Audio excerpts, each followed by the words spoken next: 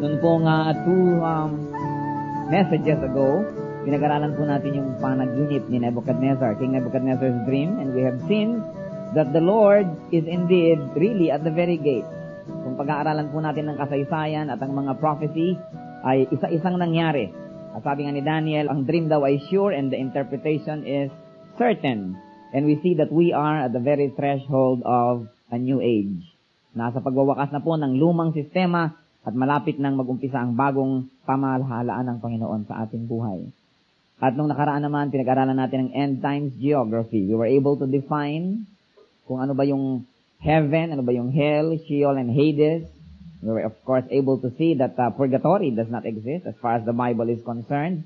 And there is no such thing as limbo where the children of the, where the unbaptized children go after death. It's only, really in eternity, it's only going to be the new heaven and then hell.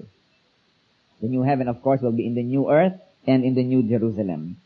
At nakita niyo po sa ating mga awitan ay puro ang ating uh, focus ay ang muling pagbabalik ng Panginoon. In the twinkling of an eye or in a twinkling of an eye, He is coming. In a flash, we will all be changed. At yan po ang ating pag-uusap-usapan ngayon, the rapture. The very momentous event. And I believe that after Pentecost, when the Holy Spirit was given to the people, to the believers, this is the second great event the rapture of believers. Everything else in the middle is just incidental.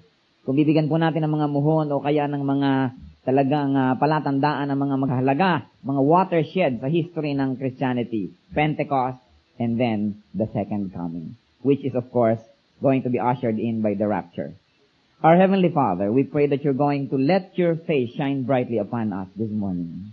Tunghayan niyo po ang inyong mga anak sa dakong ito, Hanguin niyo kami, Panginoon, sa aming kawalan ng kaalaman.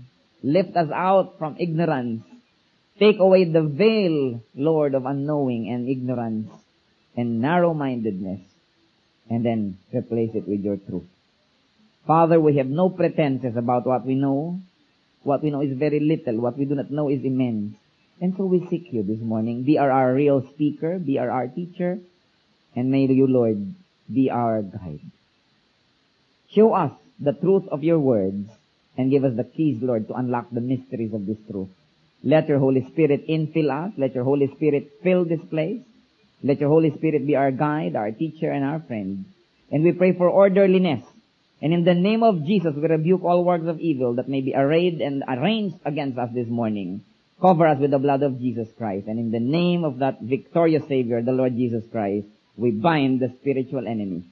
Meanwhile, O Lord, in the name of Christ, we unbind ourselves unto the truth. We unbind ourselves from ignorance.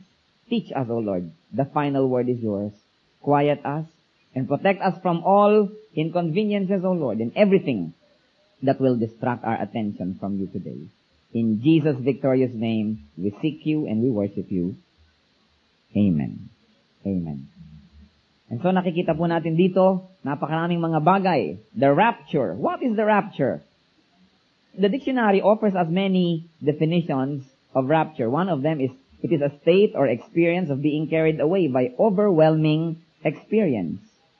And then it is also a mystical experience in which the spirit is exalted unto the knowledge of divine things.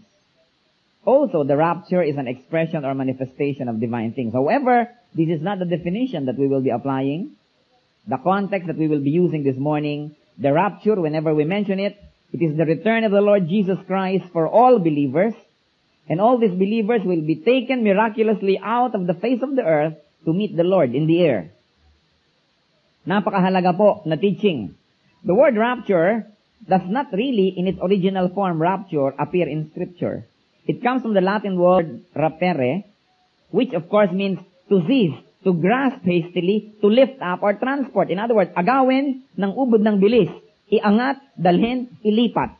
Yan po ang ibig sabihin ng word na rapture. At ang pinag-uusapan natin, bago dumating ang Panginoong Jesus, ang mga mananampalataya ay biglang maglalaho dito sa daigdig. Mawawala na lamang na hindi maipaliwanag. At ang mga mananampalataya ay makikipagtagpo sa Panginoon doon sa kalangitan, sa mga ulap. Kung saan naman pagkatapos, ang mga hindi mananampalataya ay maiiwan dito and they will be subjected to unspeakable torment according to the Bible. In other words, whenever we use the word rapture, we mean the catching or snatching of believers to Christ in the air. Our Heavenly Father, once more we lift up all our brothers and sisters to you, including myself. Speak with boldness to us, O Lord. In the name of the Father we pray, and also, Lord, through the power of the Holy Spirit. Thank you for hearing our prayers. Napakarami pong mga sinasabi ang Bible tungkol sa rapture o yung pagkawala ng mga believers. Isa na dito sa Matthew 24, nung ang mga disciples ay lumapit sa Panginoong Isus at nagtanong sila, sabi niya, ano ba ang mga palatandaan na kayo po ay magbabalik na? Ang Panginoong Isus nagbigay ng maraming palatandaan at ang isa dito, sabi sa Matthew 24, verses 40 to 41, Two men will be on the field, one will be taken and the other left. Two women will be grinding with a hand mill, one will be taken and one will be left. Ano ang inyong madarama? Kung sakasakali na biglang yung katabi nyo'y nawala, yung coin, nawala. Ganon. Pero yan ang sinasabi sa Bible. Meron daw dalawang babaeng magkatulong na gumigiling, yung kapartner niya mawawala. May dalawang lalaking nagtatrabaho sa bukid, yung isang bigla na lang mawawala. At yan ang tinatawag po natin na rapture. When the believers will suddenly disappear. At ito hindi isang haka-haka. Sobrang napakarami ng mga references sa Bible dito na tumutukoy dito. 1 Thessalonians 4 verses 13 up to 18. Lalong-lalo na po yung mga Tagalog ng Bible. I will encourage you to read it because I will read in English. Unang Thessalonica 4, 13 hanggang 18. Brothers, we do not want you to be ignorant about those who fall asleep or to grieve like the rest of men who have no hope. We believe that Jesus died and rose again, and so we believe that God will bring with Jesus those who have fallen asleep with him. According to the Lord's own word, we tell you that we who are still alive, we who are left till the coming of the Lord, will certainly not precede those that have fallen asleep. For the Lord himself will come down from heaven with a loud command and with the voice of the archangel and with the trumpet call of God. And the dead in Christ will rise first. After that, we who are still alive and are left will be caught up together with them in the clouds to meet the Lord in the air. And so we will be with the Lord forever. Therefore, encourage each other with these words. Tatalakayan po natin maya-maya ang mga kahulugan yan sa atin. Meanwhile, I like to read another part of scripture that talks about the rapture. 1 Corinthians 15 verses 51 up to 57. Unang Korinto 15, 51 hanggang 57. Listen, I tell you a mystery. We will not all sleep, but we will be changed in a flash, in the twinkling of an eye, at the last trumpet. For the trumpet will sound, and the dead in Christ will be raised imperishable, and we will be changed. For the perishable must clothe itself with imperishable, and the mortal with immortality. Then the saying is written, that is written will come true. Death has been swallowed up in victory. Where, O death, is your victory? Where, O death, is your sting? The sting of death is sin, and the power of sin is the law. But thanks be to God, He gives us the victory through our Lord Jesus Christ. Napakaganda po nito at ito ay napakadalas na binabanggit kapag may inililibing. Where, O death, is your victory? Where, O death, is your sting? Nasaan nga naman ang tagumpay mo kamatayan? Nasaan ang iyong kamandag? Kung matapos na ang mga mananampalataya ay mamatay, ay sila naman ay bubuhayin muli at tatawagin sila ng Panginoon. At uh, sa pagbabalik ng Panginoon ay yung mga hindi pa namamatay ay hindi na makararanas ng kamatayan at sa kanilang kalagayan ay kukuhanin sila ng Panginoon at ang mga mananampalataya ay biglang magbabago sa isang kisap mata. Nasaan nga naman ang tagumpay ng kamatayan at nasaan ang kanyang kamandag? What will actually happen during the rapture? Nakita natin ang sabi ng 1 Thessalonians 4.16, ang Panginoong Jesus mismo ay bababa mula sa mga langit at napakalakas na isang utos sa pagsigaw ng archangel, which we believe is Michael, and of course with the trumpet call of God. Ihahayag ng isang trompeta at ng pahayag ng archangel ang pagbaba ng Panginoon. At anong mangyayari? The dead in Christ will rise. Napakahalaga yung word na first. Mauuna yung mga namatay sa Panginoon. Sino ang mga namatay sa Panginoon? Lahat ng mananampalataya noon pang Old Testament, lahat ng naghintay, nanalig, at nanampalataya sa darating na tagapagligtas sila ay ligtas. At matapos dumating ang tagapagligtas ang Panginoong Hesus, hanggang sa ngayon, ang lahat ng nanampalataya, tumawag at nagpaligtas sa Kanya na siyang tunay na tagapagligtas, sila ay tatawagin ng Panginoon mula sa libingan. At napag-aralan na natin when we studied the end times geography na ang mga namatay na na nasa Panginoon ay wala pa sa langit. Sila ay nasa paraiso kung saan hinihintay nila ang muling pagtawag sa mga namatay na. Nabanggit din natin in fairness to other schools of thought na may ibang paniniwala tungkol dyan, ang ibang mga scholars. But we have overwhelming biblical evidence to point to us, including these verses, that the dead in Christ are not in heaven, but they are somewhere in paradise.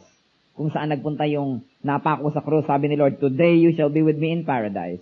Kung saan napunta si Lazarus at the bosom of Abraham, in the side of Abraham, not in heaven, because at the last trumpet, the dead in Christ will be called and they will be lifted up to the skies. At sa isang kisap mata lang naman ang kanilang pagkakauna, in a twinkling of an eye, those that are alive Halimbawa, sa ating panahon, ngayon mismo, babalik na ang Panginoon, tatawagin ang lahat ng namatay kay Kristo at sila ay aakyat sa himpapawid at pagkatapos ay ang lahat ng mananampalataya ay tatawagin din naman. And so the dead in Christ will rise first. Dapat nating bigyan ng diin dito na si Pablo na sumulat ng Thessalonians, ang nire-refer niya are New Testament dead Christians. He is not referring to Christians that died before the Lord resurrected. Ito'y Thessalonians na. Ang Panginoon nag-resurrect na and of course ascended already in heaven. This is already post-ascension. Uh, Subalit, sinasabi pa rin ni Paul, those that died in Christ will still be what? Called again. In other words, those that died after Christ are not in heaven. They are also, together with the Old Testament saints, they are in paradise. At sinabi niya, huwag kayong malungkot mga Thessalonians. Kasi alam niyo po, ang context nito, ang mga Thessalonians ay naniwala na sa kanilang panahon ay babalik ang Panginoon. At sa kanilang panahon ay mangyayari ang rapture. Pero sabi nila, eh paano yung mga kapatiran nating namatay na? Eh di hindi sila masasama sa rapture. So in other words, alam nila na ang mga namatay na ay hindi nagpunta sa heaven. Kaya sabi ni Paul, huwag kayong mag-alala. Hindi naman natin sila mauunahan eh yung mga namatay na ng mga true believers, sila ang unang tatawagin at pagkatapos ay tayo naman. Kaya sabi niya sa verses 13 and 15, chapter 4 of 1 Thessalonians, Brothers, we do not want you to be ignorant about those who have fallen asleep. Madalas ginagamit yung word na sleeping sa dead. Kasi hindi naman talaga dead eh. And so the technical term that uh, Paul uses is asleep many times, not always. Sabi niya, we do not want you to be ignorant about those who fall asleep or grieve like the rest of men. Huwag kayong malungkot. Huwag kayong magluksa para kayong mga walang pag-asa. Yan ang sinabi ni Paul. Naniniwala tayo na sapagkat ang Panginoon ay bumangon mula sa mga patay, ang mga namatay sa Panginoon ay babangon ding muli, sabi niya. At siya ang may sabi niyan. Pero, ni hindi naman natin sila mauunahan sa pagpunta sa Panginoon sapagkat sila ang unang tatawagin. Kaya po tayo mga mananampalataya, kapag tayo namamatayan ng kapwa mananampalataya, hindi tayo nagluluksa. Hindi natin ipinagluluksa ang kamatayan ng isang mananampalataya sapagkat siya nando na sa paraiso, bagamat wala pa siya sa heaven. But we know that in the last trumpet call, the dead in Christ will rise. Nalulungkot siyempre tayo. Alam naman tayong magtawanan at matuwa kung may namatay. Siyempre, we miss the person, nalulungkot tayo. Pero hindi sapat yon upang tayo magluksa kung ang yumao ay mananampalataya. At anong mangyayari? Yung mga buhay will be caught up in the air with the Lord, in the clouds to meet the Lord. At yan yung mangyayaring disappearance. Napakalaki pong gulo ang mangyayari sa mundong ito pag nangyari ang rapture. Paano kung kayo nakasakay sa aeroplano at ang piloto ay born again Christian? Nawala bigla ang piloto. Kung kayo nakasakay sa Victory Liner at pababa kayo ng Cannon Road, at ang driver ay Christian, nawala ang driver. Nakikita niyo po ba kung anong mangyayaring kaguluhan dito sa daigdig na to? At sa dinami-rami ng mga born-again Christians ngayon na nasa Panginoon na, holding key positions in government, in commerce, everywhere, there will be chaos. Chaos such as never was, nor will ever again be. Yan ang sinabi sa Bible. At hindi maipaliwanag ng mga tao, ano kaya yon? Bakit nawala lahat yung mga, ba't kaya tahimik ngayon ay linggong-linggo ang ingay-ingay pa naman yung day-by-day center na yan? Nagtataka siguro ang mga kapitbahay na hindi pa nakakilala sa pag tahimik. Bakit? Nasaan sila? Sapagkat nawala. At maaaring gagawa pang iba naman kung ano-anong haka-haka. 300,000 kidnapped by UFOs. Yan pa siguro mga lalabas sa mga dyaryo, kung saan-saan pa. Sapagkat hindi pa rin nila paniniwalaan yan. Subalit mga kapatid, meron pong mga tao na in the last days maniniwala. Tapos nila, totoo pala yung sineshare sa akin ng kapitbahay ko. Yung sinasabi pala ng pinsan ko, yung sinasabi pala ng hipag ko, totoo dahil nawala silang lahat. So in other words, gusto ko pa rin masave. At sa panahon po na yon, isa na lamang ang natatangi at natitirang pagkakataon upang maligtas ang isang tao. Sapagkat ang lahat ng mamamayan ng daigdig ay tatatakan sa kanyang noo at sa kanang kamay ng 666 or the number of the evil one, the Antichrist, ang natatangi na lamang paraan upang hindi tayo mapahamak ay huwag magpatatak. But you understand that the whole world will be under one government only. At ang sabi niyan sa Revelation 13, no one can buy or sell unless he has the mark of the beast. That is the number of the name of the beast. And the number is 666. So hindi kayo makakabili at makakapagtinda. Naintindihan po ba natin kung ano ang repercussion niyan sa ating buhay? We cannot participate in life. We cannot buy or sell. Mawawalan tayo ng hanap buhay at mawawalan tayo ng makakain. In other words, we will be persecuted such as nobody was persecuted in the past. At yun na lamang naiisa at katangi-tanging paraan upang maligtas. At yan ang sinasabi sa Matthew 24, pinaniniwalaan natin, na sabi, Only those that remain steadfast to the end will be saved. Hindi po ina-apply sa ating mga naniwala na ngayon sa Panginoon. We don't have to be steadfast to the end to be saved because we are under grace right now. Ang ating salvation ay hindi dahil sa ating kabutihan or steadfastness, hindi dahil sa ating kabanalan, kundi dahil sa kabanalan, kabutihan, and steadfastness of the Lord Jesus Christ na ating isinuot at naging atin nung siya ay ginawa nating tagapagligtas. So, sino ang kailangan maging tapat hanggang wakas na pagka nagkasala ay tanggal uli ang salvation? Hindi po ang mga saved na yon yung mananampalataya pagkatapos ng rapture. At bakit kailangan nila ngayong kumilos at gumawa ng mabuti at pag hindi na sila gumawa ng mabuti ay mawawala ang kaligtasan? Because it is no longer a period of grace. It is already a period of works. Dahil grace is what? Given because of faith. Tayo ngayon under faith because hindi pa nangyayari yung pinaniniwalaan natin, inaniwala na tayo. Pero kung nangyari na, hindi na natin kailangan ng pananampalataya sapagkat may ebidensya na. Therefore, it is no longer under faith. Therefore, salvation by works will happen for the tribulation saints. And this is what we call the tribulation saints. Yung nawala na ang mga believers at pinarurusahan na ang mundo, may nasave pa. Ang akin pong dalangin, wala ni isa sa mga kasama natin dito ang masasave during the tribulation. Dahil ang aking dalangin at inaasahan ay masave tayong lahat bago mag-rapture. Amen? Yes, kailangan. Hihintayin pa ba natin ito? Pero may mga tao pong napakatitigas ng ulo.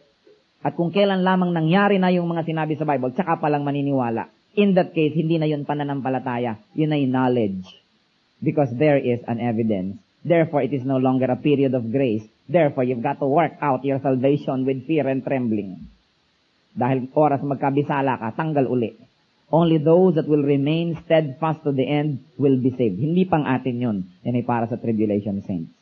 And so the disappearance will happen, and then the believers will start to be with the Lord forever.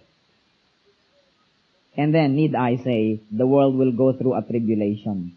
Isang pahirap na hindi pa nakita at hindi na makikitang muli. At sinabi sa Bible, yun ay pitong taon. Ang hindi po natin tiyak kung ang pitong taon ay symbolic or literal. But in any case, ang mahalaga huwag tayong masama doon kahit dalawang oras lang yun.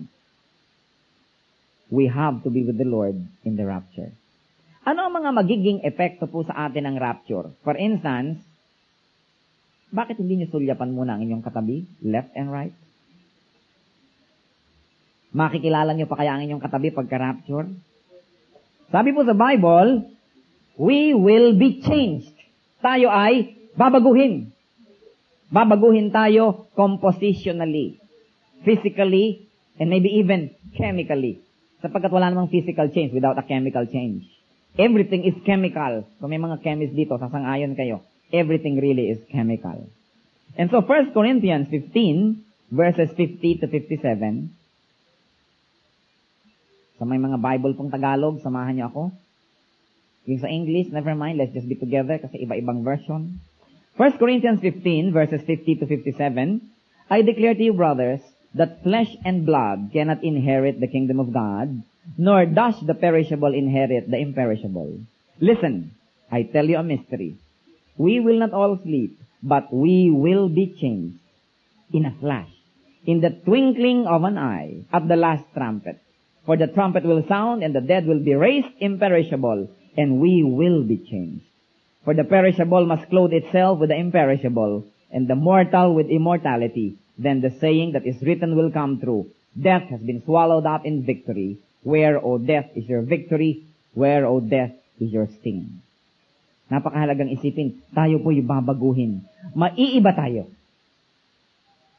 Ang sabi sa Philippians 3 verses 20 and 21, For our citizenship is in heaven. Now, the citizenship is there, no? Not the destination. Nakalagay doon, nakadeposit doon, doon secure ang ating citizenship, from which we also look for the Savior, the Lord Jesus Christ, we shall, who, shall change our lowly body, that it may be fashioned like His glorious body.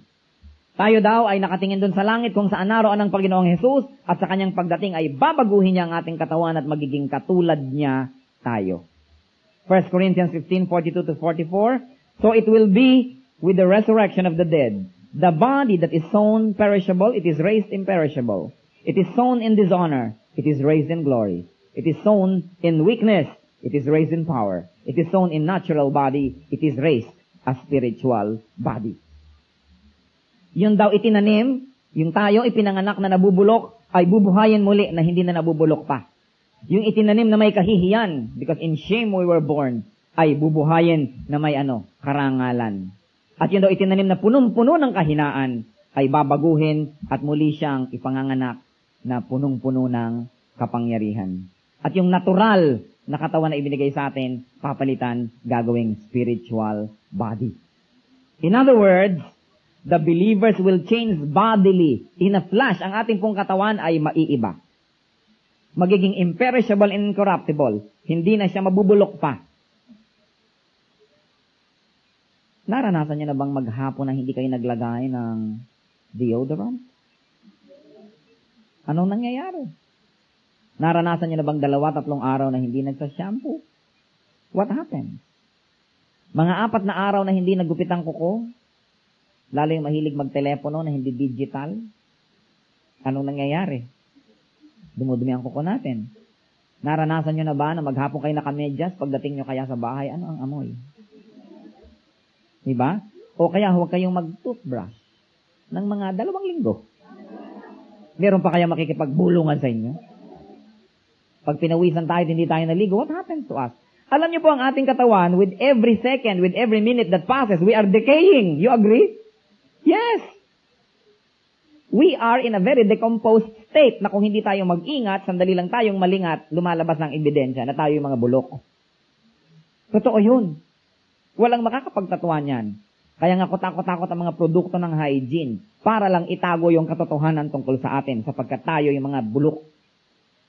Bulok ang kalooban at kahit na yung katawan na yan ay ayan pero bulok talaga yan dahil Every passing minute, we are decomposing. At kung hindi natin i-reverse at gagawa ng paraan, lalabas ang ebidensya. Pero sabi, the imperishable, the perishable will become imperishable. The corrupt will be incorruptible.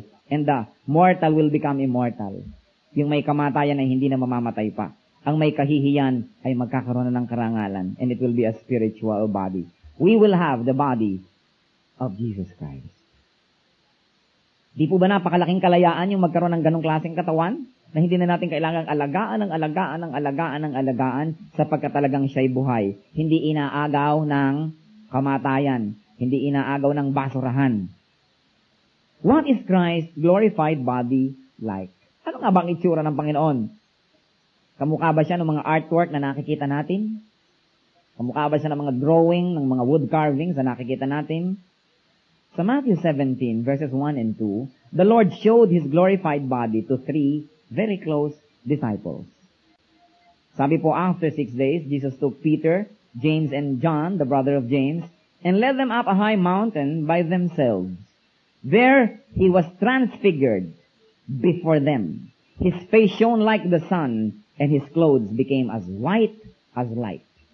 And this is just a manifestation of the Lord. We are not told exactly that this is really the permanent look of the Lord. However, the Lord manifested Himself in another way.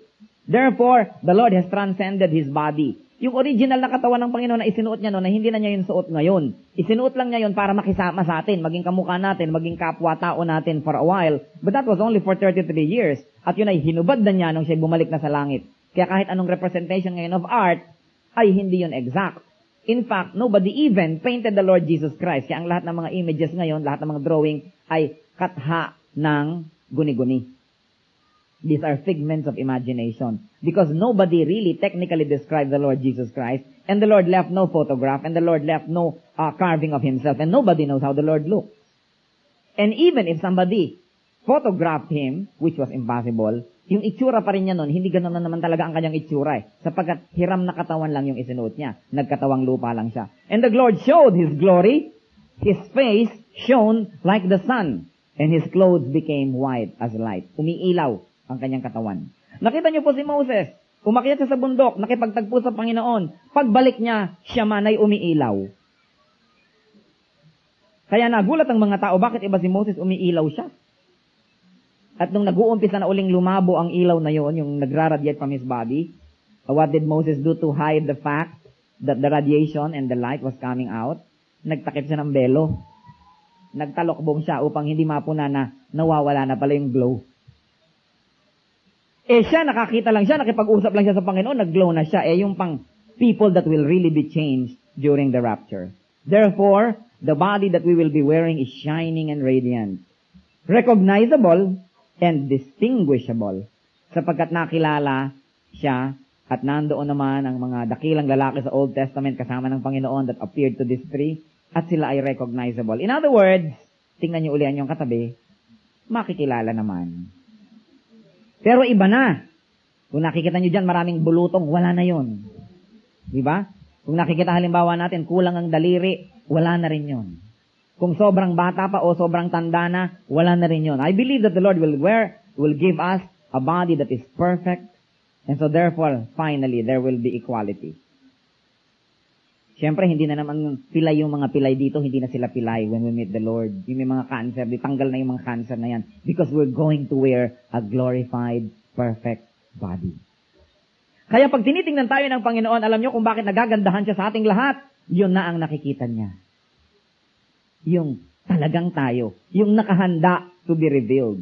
Kaya tayo man sa mga kapatiran, ang ating tingnan ay yun na, yung nakadeposit na what we will be during the rapture and forever and ever and ever. So huwag natin masyadong bigyan ng pansin yung physical. Ang katawan na ito ay piitan lamang ng ating espiritu. Nakakulong lang dyan ang ating espiritu. Kaya the sooner that this body dies, the sooner our spirit will be released to become what it should be. That's why sabi ni Paul, for me to live is Christ and to die is gain. Malaking kapakinabangan ng mamatay sapagkat nakakalaya ang espiritu natin sa piitan na to na ating katawan na napakaraming sakit, napakaraming arte, napakaraming reklamo, at napakaraming nararamdaman. But we will be released from all this. Kaya sabi, where, O death, is thy sting? Nasa na ang ipinapanakot mo kamatayan? Wala. Sapagkat ang kamatayan ay kapakinabangan sa isang tunay na mananampalataya. Subalit mga kapatid, hindi lamang ang ating katawan ang babaguhin, pagharap natin sa Panginoon, babaguhin din yung ating essence, yung ating composition, very especially spiritually speaking. Anong sabi ng 1 Corinthians 13 verse 10? But when perfection comes, the imperfect disappears. Pagdating daw nung ganap, yung hindi ganap ay mawawala na. In other words, we will become perfect. All we need is to be released from this body so that perfection will be realized. And complete perfection comes when we meet the perfect of the perfect, the Lord Jesus Christ Himself. Kaya naman, sapagkat magiging perfect ang mga believers, wala nang Bible study. Wala na mga aral-aral pa, wala na mga Sunday-Sunday school. Wala na tayong struggle sapagkat nawala na yung ating propensity and nature of sin. Ang mangyayari, ang nature na natin ay kabanalan. And of course, there will be no more temptation. Kaya kinanta natin, there will be no crying there. There will be no dying there. We are going to see the King. Kaya nga sabi natin, Lord, let it be soon. We're so excited and so eager to be with the Lord. We will be spiritually and we will be physically changed. And that is the focus of the attention of all believers of all time. Kailan nga ba ang rapture? Meron pong tatlong major views and in fairness to scholarship, let me mention them to you. When is the rapture going to be? Ang sabi kasi sa Matthew 24, verses 21 and 22, Mateo 24, 21 hanggang 22.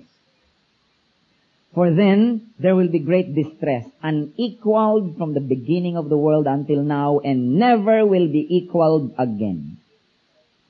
If those days have not been cut short, no one would survive. But for the sake of the elect, those days will be shortened. And I believe we're talking about the tribulation saints. At that time, if anyone says to you, look, here is the Christ, or there he is, do not believe it. For false Christs and false prophets will appear and perform great signs and miracles to deceive even the elect, if that were possible. See, I have told you ahead of time. In other words, sinabi ng there's going to be tribulation, merong mga hirap. Ano ba yung tribulation? Yung pagpaparusa sa buong daigdig for seven years, according to the Bible. Now, these are the three main points of view concerning the time of the rapture. Meron po mga Bible scholars na niniwala ng pre-tribulational, meaning, bago mag-tribulation, rapture na. At yun ang gusto natin, di ba? gusto natin yan. Meron naman pong naniniwala na mid-tribulation daw. Ang Kristiyano ay aabutin ng first half ng tribulation at saka magra-rapture at pagkatapos yung second half, wala na ang mga Christian. At mayroon namang naniniwala ng post-tribulation, meaning buong-buong mararanasan ng iglesia ang buong tribulation at saka ngayon magkakaroon ng rapture. Ito pong uh, tribulation, ang topic ng buong Revelation 6 up to 19. Chapter 6 up to chapter 19, yan ang topic, the tribulation. Meron naman mga scholars, kaya po sila naniniwala na mid-tribulation. Sapagkat yung mga pahirap na nangyari pa nung panahon ng mga Romans hanggang panahon ng mga Kastila hanggang ngayong mga panahon na to, ikinakount na nila as tribulation. Kaya sa kanila, mid. Kaya inabutan. But we believe that the tribulation period is a definite period. Hindi kasama yung mga nauna na. Kasi sabi, the world has never seen it and will never see again. So in other words, hindi kasama yung mga tapos na. It is a definite period. But I'm giving you an interpretation. And I'm encouraging you to go and dig the scripture. Because though we have a stand on this, it is not dogmatic. We are not going to World War III for our stand on the timing. Sapagkat kaya ano ba yung timing na yan ang mahalaga? Ma-rapture tayo. Pero gusto na natin yung pre-trib. Di ba? Yun ang maganda. And I would like to let you know, of course, that our stand here day by day is uh, pre-tribulational. Why? Why is our stand pre-tribulational? Ibig sabihin, ang mga Kristiyano hindi aabot dito. Hindi lang dahil masarap yon at maganda yon, kundi sabi po sa Revelations 3.10, Since you, talking about the church, since you have kept my command to endure patiently, I will also keep you from the hour of trial that is going to come upon the whole world to test those who live on earth. Sapagkat kayo naging tapat, sabi sa iglesia, hindi kita isasali sa panahon ng mga pagsubok na dadalaw sa buong daigdig. Yan po ang sabi ng Revelation 3.10. God's people, we believe, are exempted from the tribulation. Another reason, Revelation 6.10. They called out in a loud voice, How long, sovereign Lord, holy and true, until you judge the inhabitants of the earth and avenge our blood? Sabi po ng mga ligtas, ng mga saints, ng mga anak ng Panginoon, gaano katagal, Panginoon, na ipaghihiganti mo ang aming dugo? Kung gayon ang tribulation ay isang paghihiganti, bakit naman paghihigantihan ang mga Christian? Eh, sa atin nga may atraso ang buong sanlibutan. Yung mga bumabato-bato sa atin, bumabato-bato sa bubong ng mga nagwa-worship, yung mga nagpakain sa mga Christians ng araw sa mga leon, yung nagtulak sa kanila sa mga bangin, yung nagpahamak sa kanila, binalatan sila ng buhay, ipinakain sila sa mga mababangis na aso, lahat ng mga ito, sabi ng mga namatay, Panginoon, gaano katagal? Kailan pa ipaghihiganti mo ang aming dugo?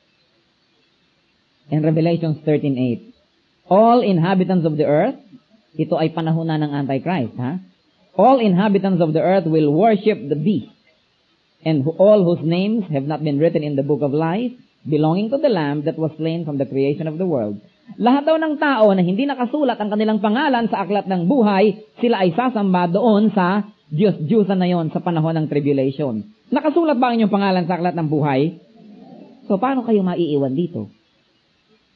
Sabi siguro ng ating mga panauhin, ang yabang naman ng mga taga day by day, paano naman nila nalabag nakasulat ang kanilang pangalan sa aklat ng buhay? Nalakalagay po yan sa Bible, those that believe in Christ, those that accept Jesus Christ as Savior and Lord, nakasulat na ang kanilang pangalan sa aklat ng buhay. Hindi haka-haka, nakasulat po sa Bible yan. Accept the Lord Jesus Christ, believe in Him, and your name will be written in heaven.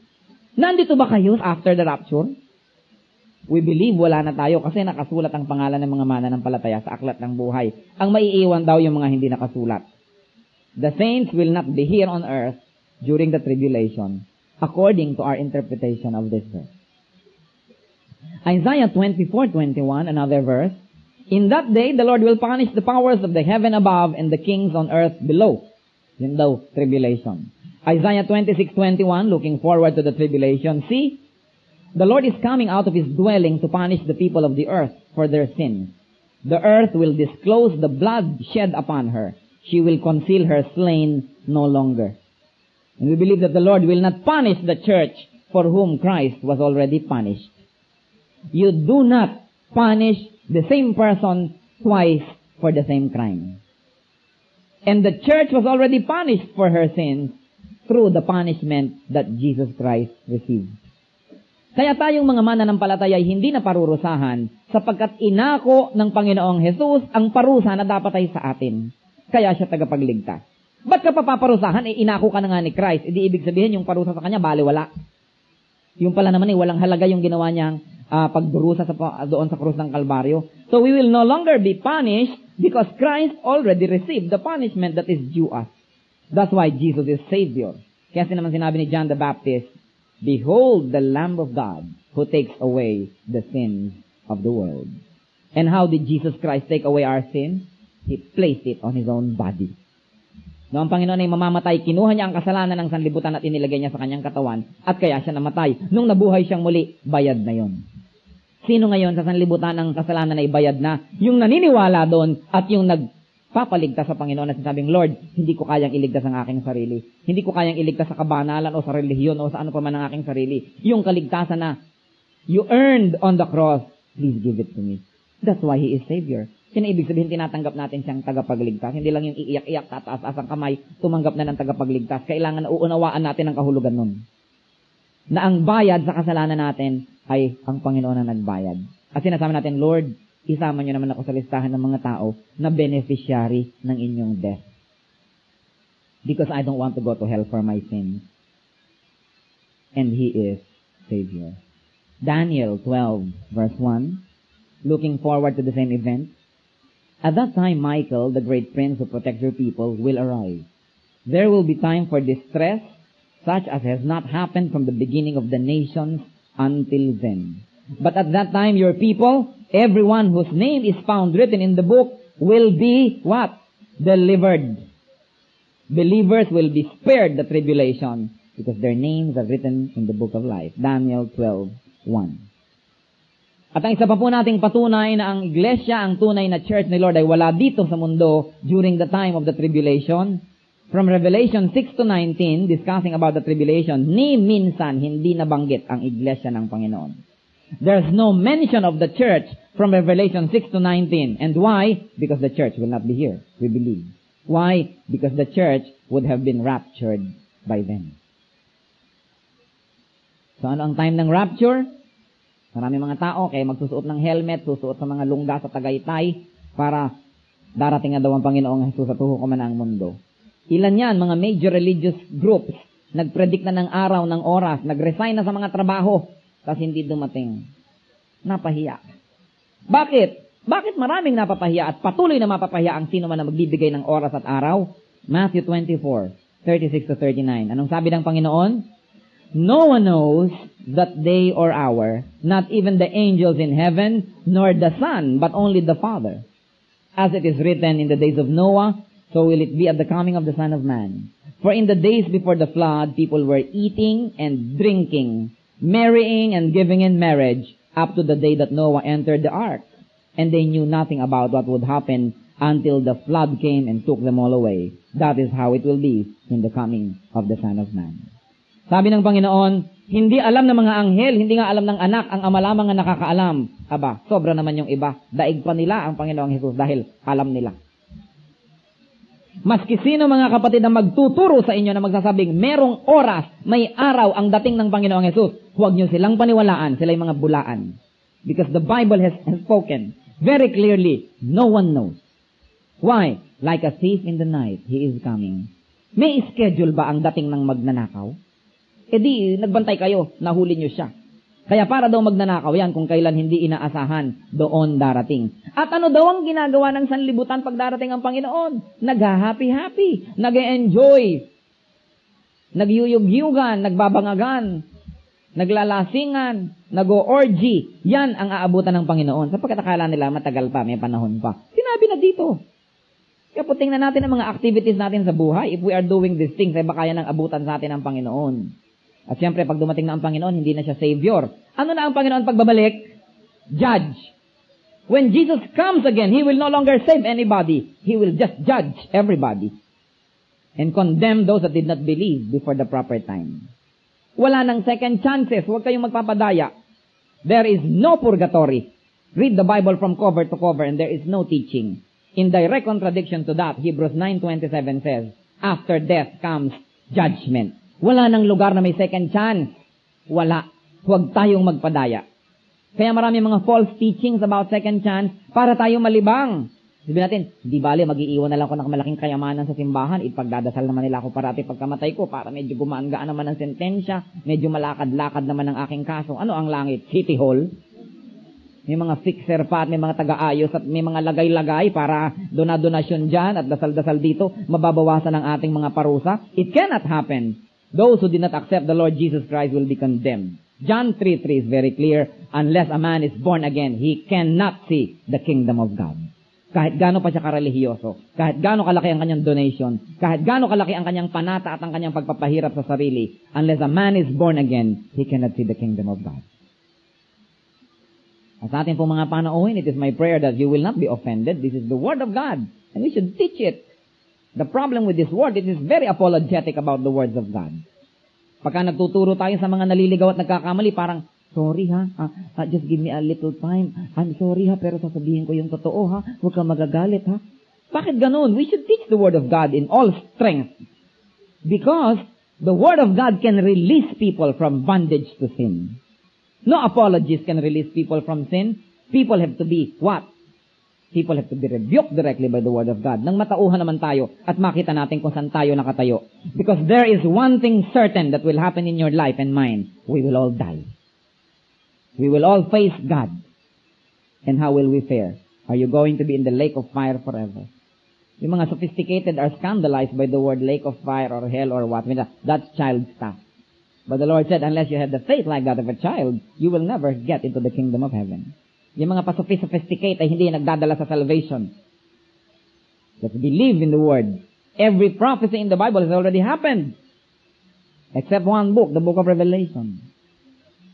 We are surrounded by overwhelming evidence, historically speaking, that the prophecies of the Bible are reliable. So kung ano man ang stand natin, pre-tribulational, mid-trib, or post-trib, is really secondary. However, let's all look forward to the rapture. The rapture, as we have said, and we believe, is the next great event after Pentecost. Kung lalagyan natin ng mga muhon, ang mga mahalagang moments of Christian history, Pentecost, rapture, tapos pagbaba ng new heaven and new earth. All of these things. During the second coming, the believers, as we have already discussed, will disappear from earth and will be caught up in the air. The dead first, and then those that are alive. The world will go through unspeakable torture and tribulation. Then Christ will go down to earth together with the saints that went up in the clouds. By the way, the word saint refers to all believers. Lahat ng believers ay saints. Why? Because we are made holy not by our accomplishment but by the blood of Christ. Hindi na kailangan ng mga seremonya at kung ano-ano pa para gumawa ng santo at santa. Every person who is in Christ is a saint, according to the Bible. And during the rapture, I have one question. If there's one question that I like all of us to take very seriously, pag nag-rapture, kayo po ba'y kasama o maiiwan? Let's be sure. If there's anybody here who is not sure, anong sinasabi sa Bible? Believe in the Lord Jesus Christ and you will be saved. And it's not only to believe that Jesus is Savior, but really to rely on Him for salvation. Turn over your life to the Lord Jesus Christ. And to those that will be taken, yung mga sigurado na, bakit hindi pa tayo kinukuha hanggang ngayon? And what will life be before rapture and after salvation? Sabi sa 1 Thessalonians 4.18, Therefore, encourage each other with this word. So we should be encouraged by the rapture. Kung ano man ang hirap na nararanasan natin ngayon, sabihin natin, small time to, baliwala ito, compared to the glory that is to be revealed in the rapture. Huwag tayong laging negative ang tinitingnan, yung mga maliliit na problema.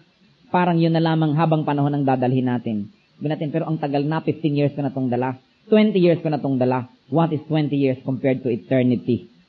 What is 100 years compared to eternity? Kaya sabi sa Bible, matapos ituro yung rapture, sabi, Therefore, encourage each other with this word.